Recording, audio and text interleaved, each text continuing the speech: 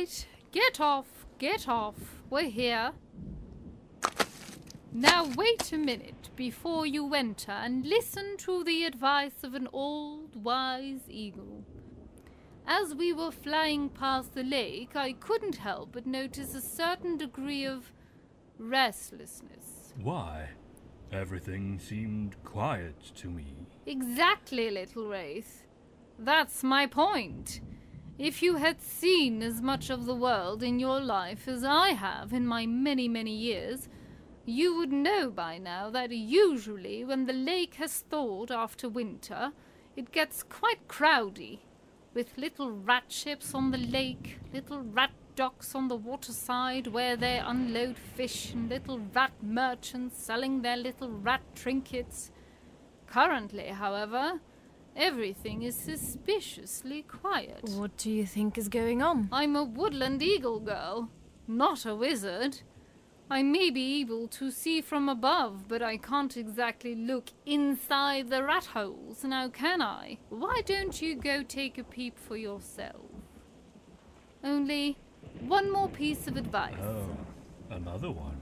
Yes, if you want it. I think the girl should go alone. Why? I prefer the Wraith's protection and company. I'm afraid, girl, that his kind isn't exactly appreciated in the rat community. Do you think they'll mistake me for one of those druzzles or something? Dorzels, Wraith. And no, they won't. But they will take you for a dark snatcher. And I can't blame them, to be honest. Anyway, that's all I have to say on the matter. I'll be off. Ta-ta! Wait! What are Dark Snatchers? She can't hear you, Miriam. She's gone. I suppose you'd better go on without me. I will wait here for your return. Wraith, is something wrong? I need to think about Redler's words. Don't forget, I trust you.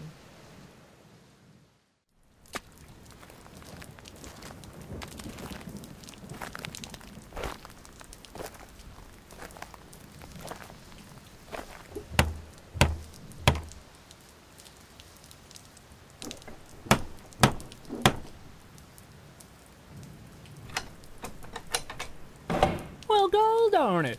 Like it ain't no crazy enough around here. What with the war and a gully washer, a damn board to boot, and then this looker comes all a banging on the door too. Uh, not that I mind, mind ya. Now, what's your name, Belle? Excuse me? Excuse me. That's some kind of elf's name or something? You sure you ain't pulling my leg or nothing? I. I just don't understand what you're saying. Aw, dang nabbit, you deaf or something? Um, no, I'm not deaf. I just don't quite understand. Ah, I reckon I'm speaking a bit too fast for you then. Alright, I'm slowing it down, you hear? Now, listen up. I'm asking you one more time. What's your name and your business in this here parts? I'm called Marilla, and I'd like to speak to your captain. You want to talk to the cap? I'm afraid he's occupied for now.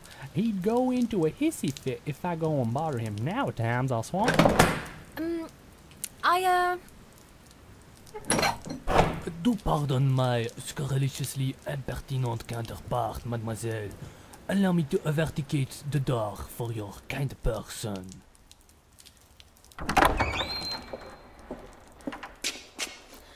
Don't mean to intrude, but There is no butterification inherent to your presence amidst our rodentic community of any kind. Pas du tout, mademoiselle. Je vous beg, please allow me to acceptificate your manteau. oh, my, my cloak. Um, of course. Please take it. Ah, voilà, voilà. Enchanté, mademoiselle. Ah, moi, moi, moi, moi. Right. Now, I'd like to see your captain, please. Le capitaine? Hmm. This is most unusual. But if he permits it, I shall accompany you to his person. However, please, I would like to demand very peacefully of you, keep it not too long. We have no besoin of too many blabla et comme ci, comme ça, n'est-ce pas? D'accord? I think so. And all right, then we understand each of the other.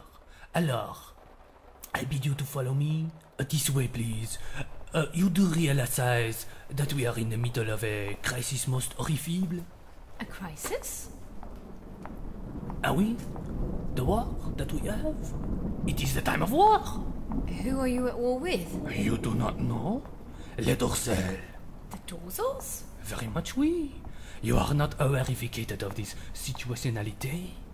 Say, you are not a spy of the enemy, are you? No, no, I'm not a spy. Ah, then it is good. We cannot allowify any spy persons in the radical community. The strange, fussy rat took Mirilia down the tunnels of the rat's fortress, all the while telling her about the fighting skills and capabilities of the rat army, and fiercely gesticulating and speaking in exaggerating tones. Meanwhile, Mirilia noticed some of the other rats, all gruffer and more imposing sorts than her companion. Many were preparing their weapons, some even filing their teeth at the sharpening wheel.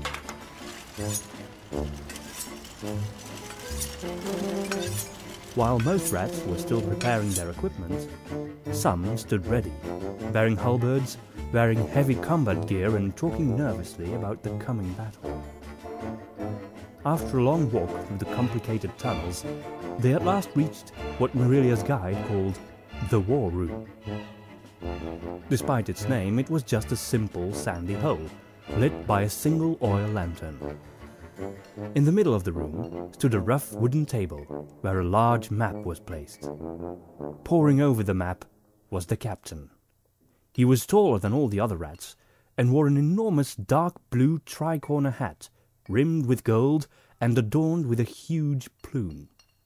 Even more impressive was his moustache that dangled from his snout halfway to the floor.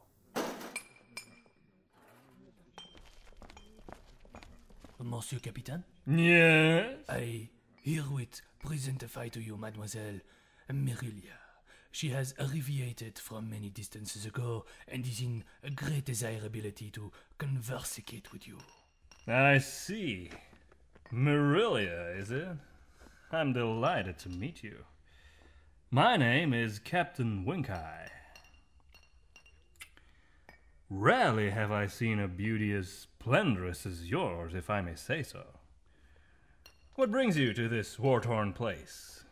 well, um, the alchemist, the mole, Voltom. Good old Voltom, huh? How is that grumpy, lovable old curmudgeon doing?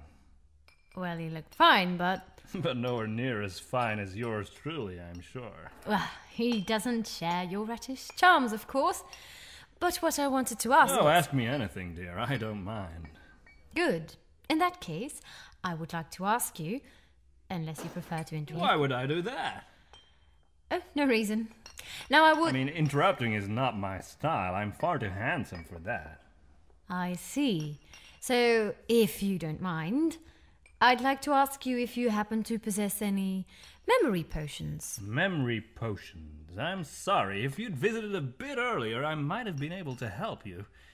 However, I fear they've all been used during our efforts to retrieve the ancient flight tunnels dug by the rats of old. All of them? I'm sorry, dear.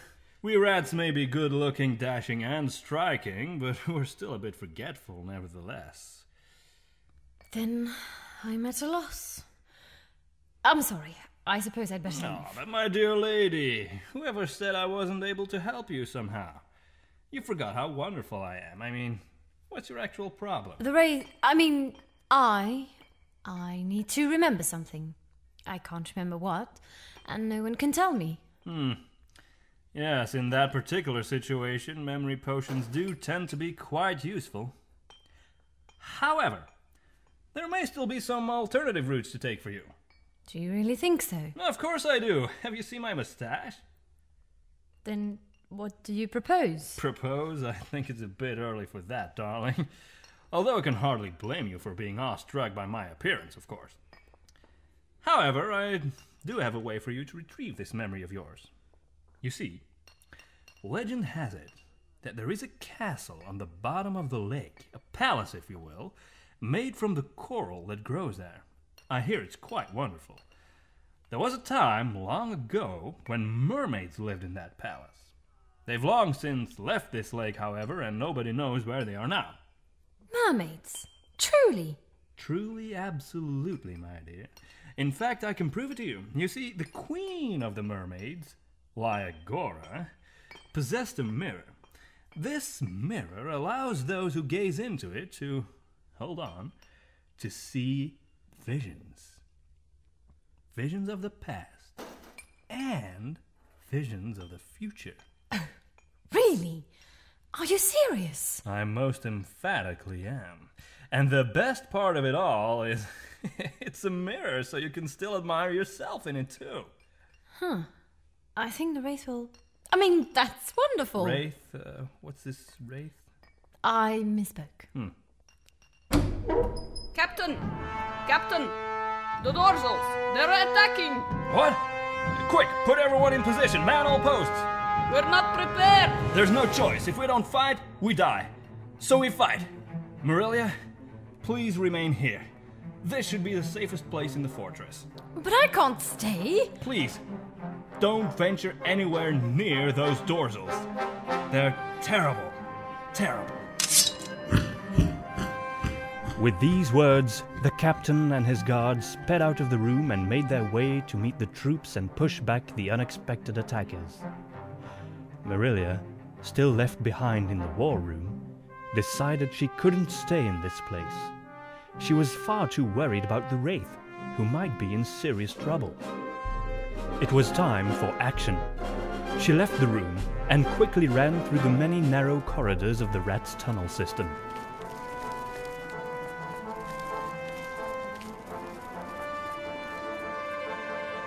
Eventually, she reached a wider hall, only to find out that intense fighting was already going on there.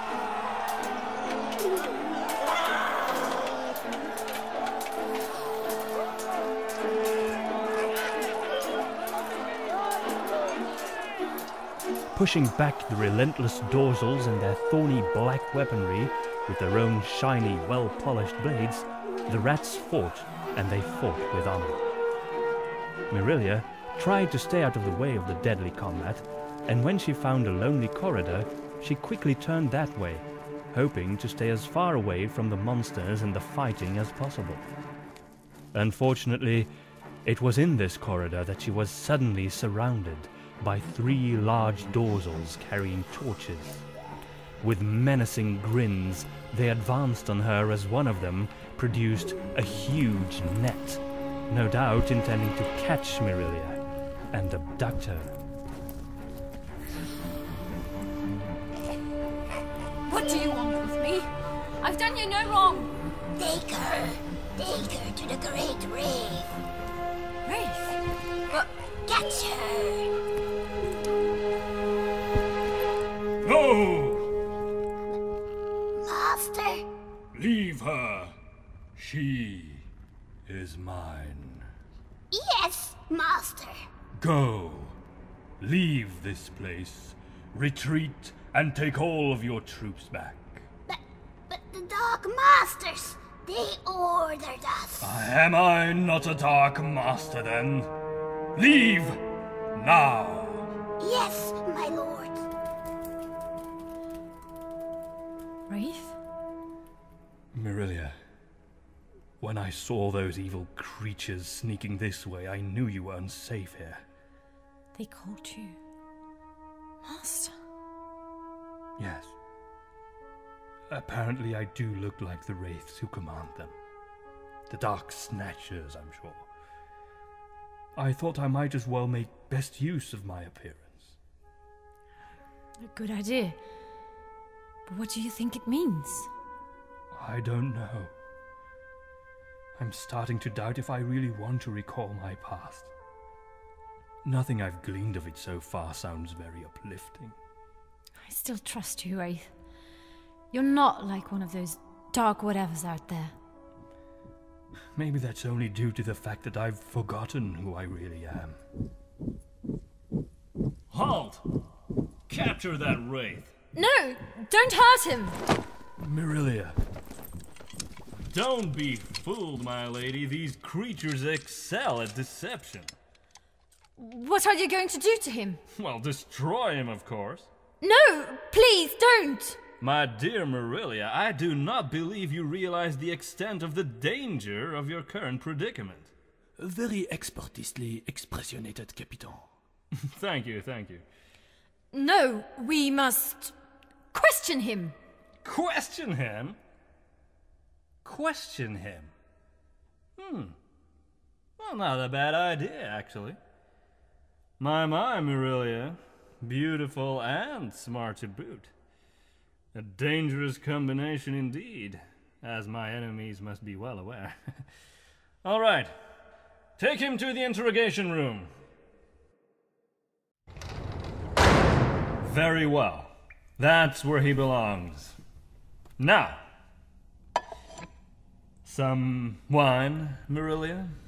No, Are you sure? It's quite a seductive wine. no, thank you. Shouldn't we be resolving this misunderstanding first? Very well, very well. Misunderstanding, you say? Why is that? Well, the Wraith here is my friend. He's harmless, and he has no connection to the Dorsals whatsoever. I've been traveling alongside him since I left the Elven Tree. Hmm. Can't say I'm convinced. The Dark Snatchers could seek out their victims anywhere. Why don't you believe me? He's no Dark Snatcher. Marilia, I've seen those Snatchers, albeit from a distance, and trust me, they do look a lot like this thing here. He is not a thing. Marilia. Do you even know what the Dark Snatchers are known to do? That's not important. Well, I believe it is. They hunt for little elves, capture them, and suck out their life essence. Those elves then turn into dorsals, mindless monsters that can only destroy forever under the command of the Dark Snatchers. They are the most powerful beings of darkness, save one. Only the monster whose body is shadow is even more unspeakable. I'm telling you, those wraiths are cruel, harsh, and infinitely cunning. Well, this Wraith is nothing like that. He's kind, tender, and infinitely loyal. Don't you realize he's simply won you over with his charms? His charms, Captain. Do you think he's charming? I only want to help you, Marilia. I want to protect you. That's why I'm here. Then free him. He saved me from the Dorsals. He even ordered them to stop their attack. Well, the fact that those creatures obeyed him and called him master is exactly what makes him so suspicious. And the fact that they retreated, well, that was their only option once they realized that I was in command of the troops here. But I. He. Mirilia, Wraith, what's happening? Your hand. What's that bright light shining from it? it's something new I've discovered. It seems to be a gift of some sort, but it hurts. It's beautiful. Captain, would a being of pure darkness ever be able to produce such beauty? I'm not sure, Marilia. No matter how wonderful I am, even I don't know. Perhaps it is time for the questions to be directed at our suspect. Wraith? Tell me about yourself. Forgive me, Captain, but I'm afraid you're asking the impossible of me. I have forgotten who I am. I'm in search of the truth, and that is why I'm traveling with Mirilia. Aha! So that's why you needed that memory potion, isn't it, Marilia? It's true, Captain. My brilliant deductive reasoning has never failed me. But why would a sweet, pretty elven girl like Marilia travel with the likes of you, Wraith? I might be able to help her too. Help? You? Doing what exactly? Marilia? I'm looking for someone. The Wraith may have seen the person I seek at some point in his grim past.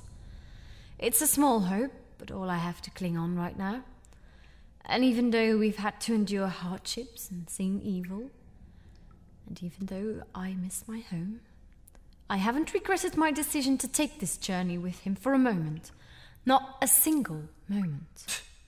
It almost sounds like you really care about each other. We do. I can take no measure of you, Wraith. I have no idea who you really are. However, I can show you. Show him? How? Marillion, I've told you before of the mirror that once belonged to Queen Lyagora.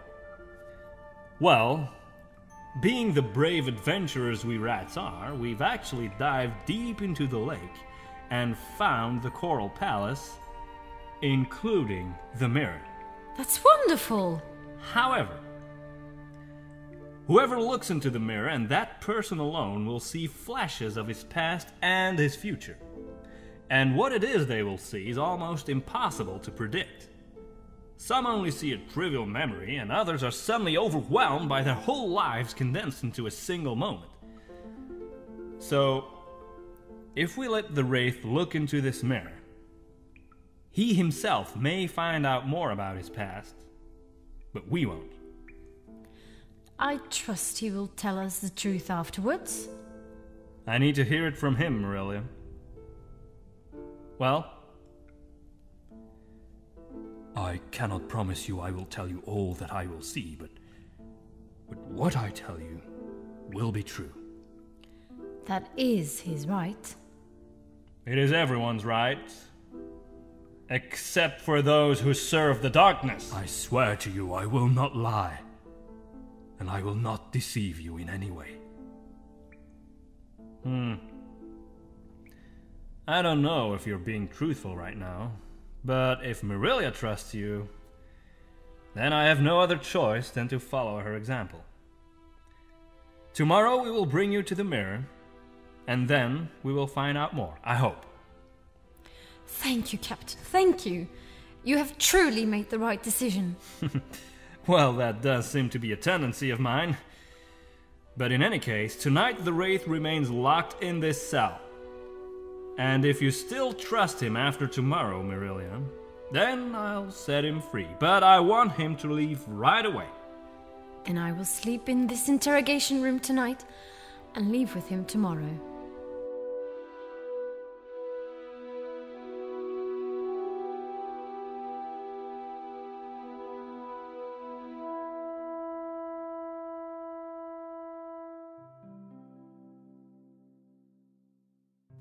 As night fell, the rats returned to their lairs. Captain Winkeye paused before leaving the interrogation room and asked of Mirilia one last time if she really didn't want somewhere more comfortable to sleep than a chair next to the Wraith's cell. But Mirilia refused. So the captain nodded and extinguished all torches save one so a tiny bit of light still remained in the room. Then he wished her a pleasant night's rest and left. Silence fell.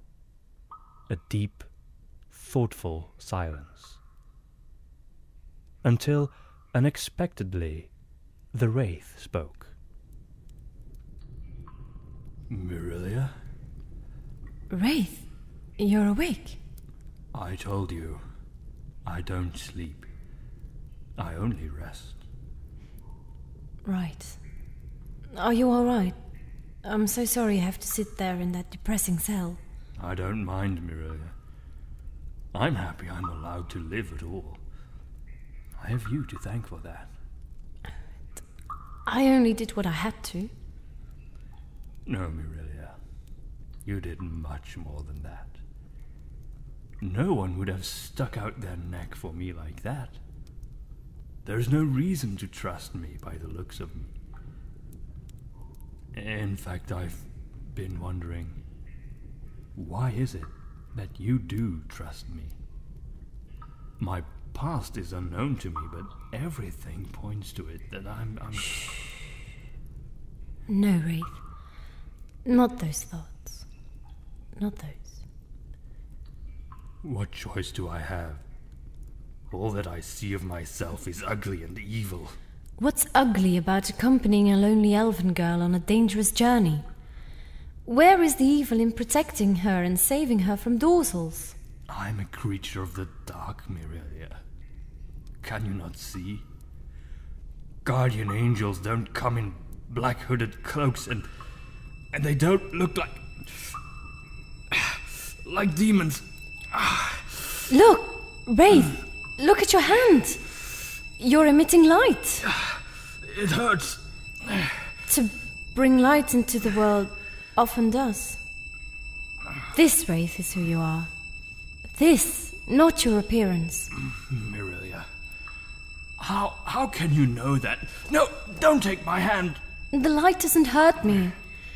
It keeps me warm. And it's cold in this cave.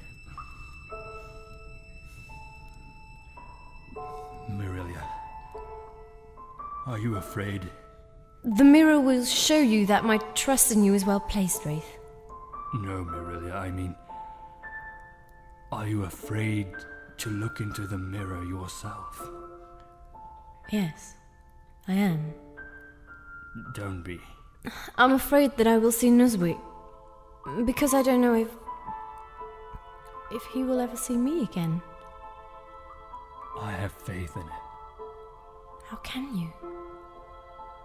I don't know, but something deep, something deeper than a feeling, is telling me that you will meet him again.